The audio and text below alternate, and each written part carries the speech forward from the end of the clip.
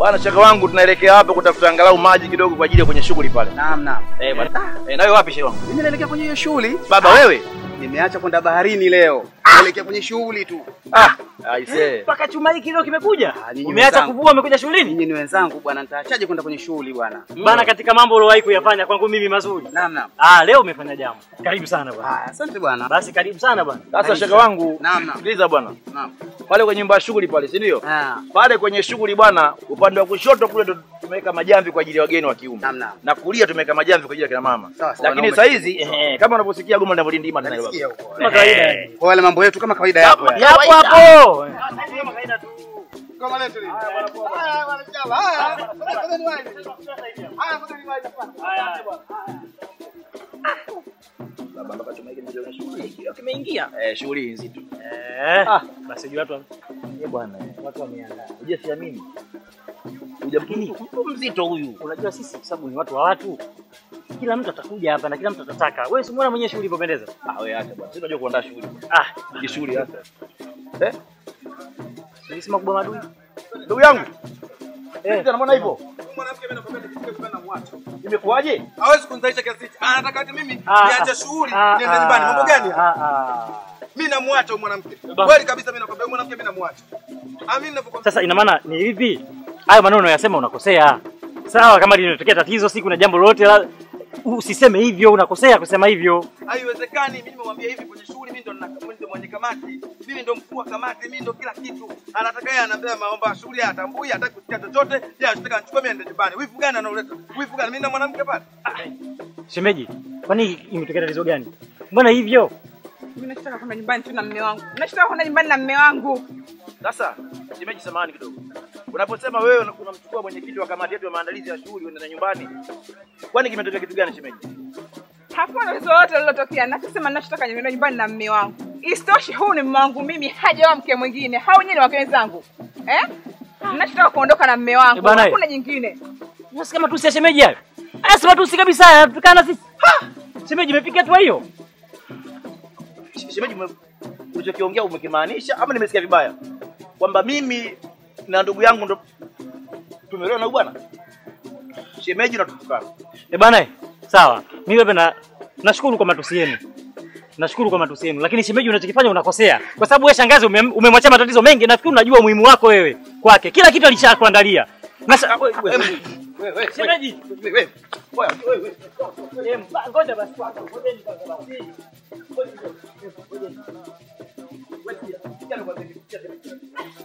Wewe, wewe, wewe, wewe, wewe, wewe. basi basi. kwamba wewe mke uko peke yako na mumeo hana mke mwingine, kwa kuna mke katika au kadhaminia nini? Kadhaminia nini kwenye shughuli yangu? Unamfanyia makusudi, unajua mimi shangazi nilichofanyia mpaka sasa umemdanganya kabisa. Hana kama msaidizi. Basi kumweza nikuachia wewe. Unakuja wewe. Unakuja mchukua ili aondoke. Mmepanga nini kwangu? Si uende wapi bana? Mimi sitaki unishuhudie bana kaka. Kama mmepanga hili jambo wewe na mke wako niambieni. Mimi nitabaki na ndugu yangu, sawa, hamna shida. Sema hivi, bana bana wewe sasa watu waende. Watu waende. Usitumie hasira, unatumia hasira vitu ndugu yangu na kwa hivyo. Tena mwambie nimpigie. Na kazi mshamwana. Hakuna haja kumwaga. Ah, Hakuna haja. Sija nakwambia. kwenye shughuli yake ni shaka. Sawa. Mimi na bwana. Mimi nilikuwa naombaje? Kama kuna uwezekano twende kwa shangazi tukamwache kwanza. Labda yeye tusikie na kama kitu gani. Na tukubali na ndugu yangu akubali. Sawa, sawa. Huku sasa unaenda wapi? Nimechanganyikiwa. Ah, twende. Sasa kuna nini inaendelea? Angalia, usimvute sasa wewe. Eh,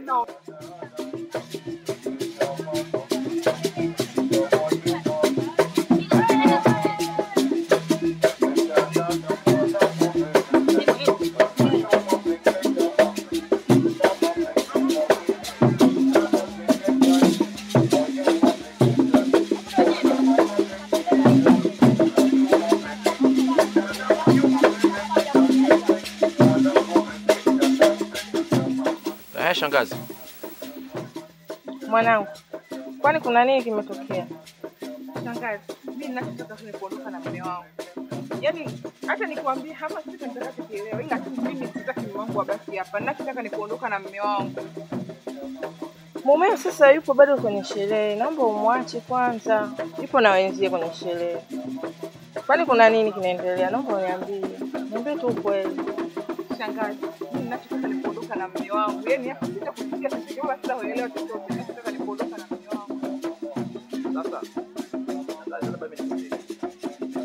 mambo.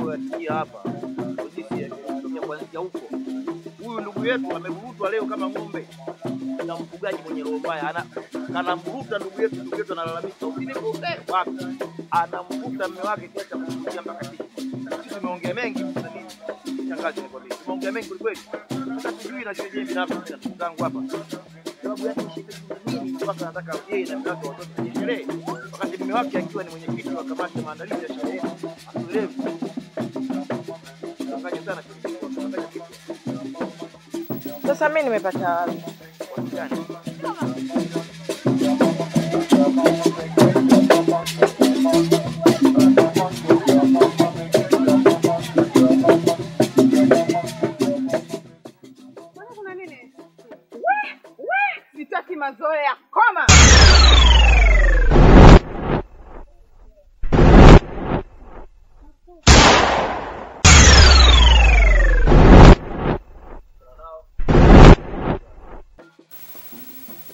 Ehe, shangazi yetu mpendwa, sisi wanao nakusikiliza.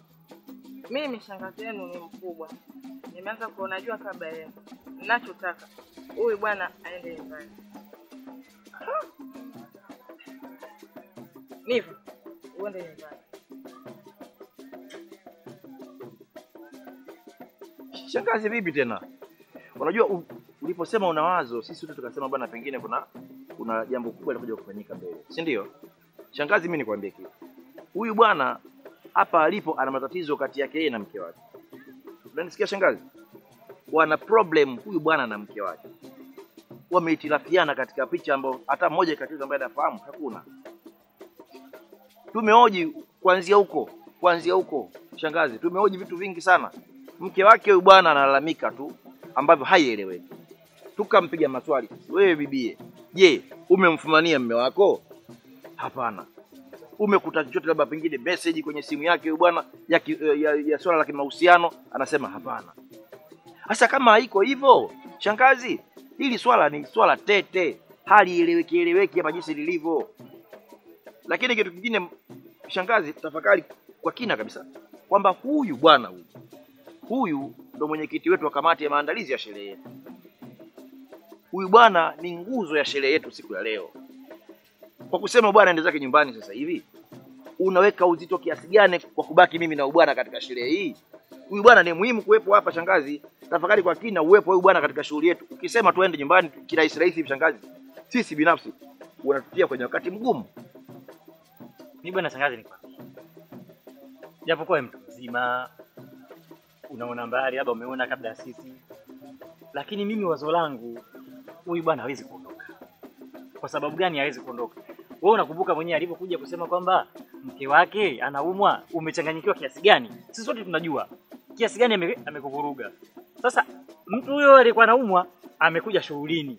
Baada ya kuja shughulini, anataka amchukue mume wake waondoke. Hivi unafikiria kuna nini hapo shangazi? Lazima tujiulize kama kuna tatizo hawa tu, basi tuliweke sawa, ili mradi huyu abaki shughulini na yeye abaki shughulini. Kama yeye anaumwa, basi huyu atuachie, yeye aende akapumzike. Sasa tatizo gani lilo- lilomsababisha hivi? Mimi ni jambo bado linanichanganya sababu tulishaanza kugombana tokea huko. Unaona bwana? Wewe usema hosi hivi sijui nini, mimi nilitumia hasira. Huyu bwana akani akanituliza, nikakubali sawa. Sasa anakuja sasa hivi anataka mchukue mume wake waondoke. Shangazi, kuna nini kwenye shughuli yetu? Anataka nini? Amwezi kujua anachomwitia, ndio maana mimi nimeona bora tu Niva aende nyumbani kwanza akamsikize mke wake. Unaona? naomba mnisikilize kwa makini.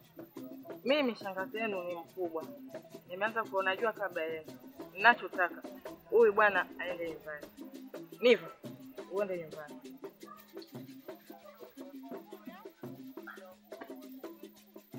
Shangazi, kweli kabisa.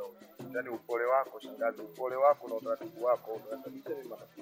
Shangazi, ungekuwa na kauli naondokaje mimi kwenye sherehe? Eti mimi naondokaje kwenye sherehe?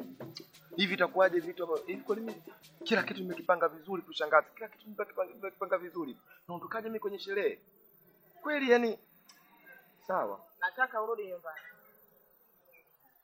Niva, nenda nyumbani.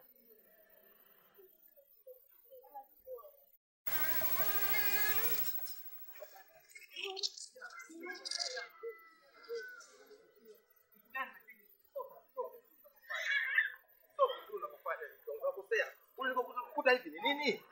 Sasa mimi sitaki kwenda. Sitaki. Sitaki, ndio sitaki. Mambo gani unanifanyia?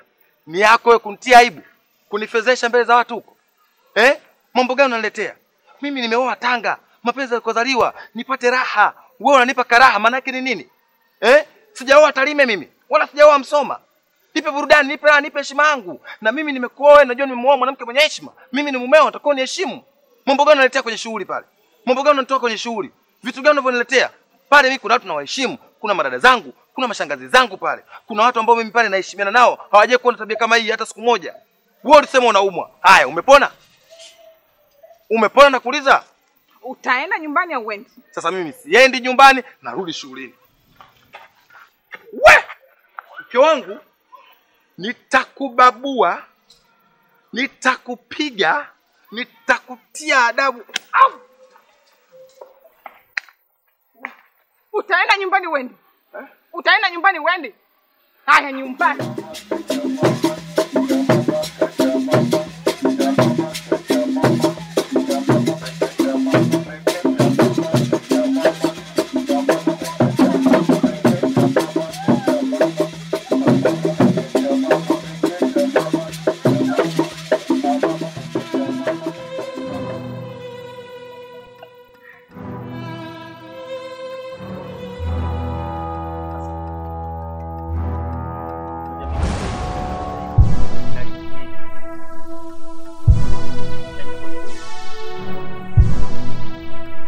Nashindwa kumwelewa shemeji.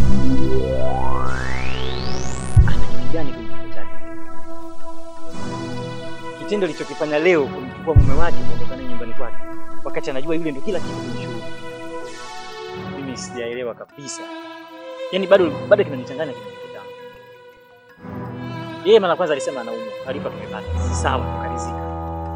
Sasa anakuja kwenye shughuli, sisi tumepata moyo kidogo, unajua labda amepata nafuu Manake mwanzo shangazi alichanganyikiwa kuhusiana na yeye, kweli alimwangusha na hakuna usichokijua. Sasa kumbe ujio wake ni kuja kuongeza matatizo na shida tu kwenye vita vyetu. Sasa ana lengo gani? Mimi nashindwa kuelewa kabisa. Najua najiuliza, sipati majibu. Yaani mimi naumia sana kwenye moyo wangu, naumia kweli kweli yani. Vini, labda mimi haya mambo binafsi. Kwanza sielewi nini. Ambavyo tumezoea shemeji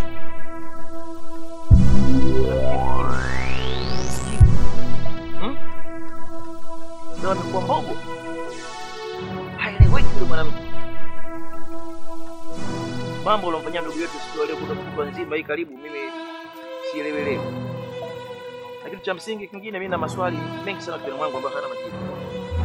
Unaelewa? Nimetafakari vingi sana. Sio nimekaa kimya muda mrefu, najibu kuwaza nini nifanye. Nini ambacho labda naweza kufanya nini ambacho labda kingine kita kitaweka maana kwenye jambo hilo ambalo. Ah, sasa hivi Salama tu. Ndio wangu. Asalamu alaykum bwana. Salamu mzee. Safi. Mzee mzee. Safi habari bwana. Kwema. Sasa, Naam. mbona sikuona kwenye shughuli shaka wangu? wapi? Si shughuli yetu hiyo. Kwenye robai koko. Eh. Upo? Nakosaje sasa kwa mfano? Eh. Mimi ndo nina vyangu toa zangu nyumbani kisha naenda kule. Ah? Ama unakuwa na habari gani tena? Nafika pale wala ina shida. Basi vyema. Eh, sehemu yetu ya kukaa. Ah, sasa, eh. Utaratibu bwana ulipo pale kwenye shughuli, upande wa kushoto kule kabisa pembeni kule, kule ndo kwenye tumetenga wa za utakakuta. Ila kifika pale kidogo nataka ukija tuongee. Maana chambo cha mdigo asema mwambira nganzi na na. Ah. Kwa nina maneno kidogo hata kuongea na wewe. Usifahamu eh? Basi sawa. Naona kuna maono ya kutosha. Eh bwana. Sawa bwana. Eh. Ah, tutakutana hapa kwenye shughuli.